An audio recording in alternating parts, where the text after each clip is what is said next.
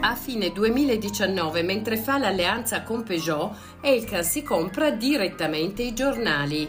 I figli di De Benedetti cedono a Exor per 102 milioni di euro la maggioranza del gruppo Gedi, che vuol dire prendersi insieme alla stampa, storico giornale torinese della Fiat, e il secolo XIX, il gruppo Espresso con Repubblica. A dicembre scorso De Benedetti padre in un'intervista sul foglio dice Elkan ha distrutto Repubblica.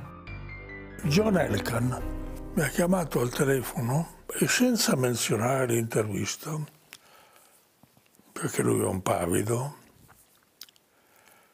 eh, mi dice ma sai, tu dovresti sentirti più parte della Fiat, perché tu sei parte della storia della Fiat posso, la Fiat non potrà mai esserti abbastanza riconoscente per aver fatto la panda.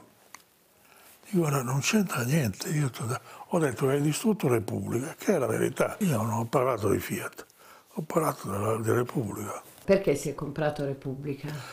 Perché ha avuto paura che la comprasse Montezemolo. Questo non lo sa nessuno, e lo dico per la prima volta. Io ho donato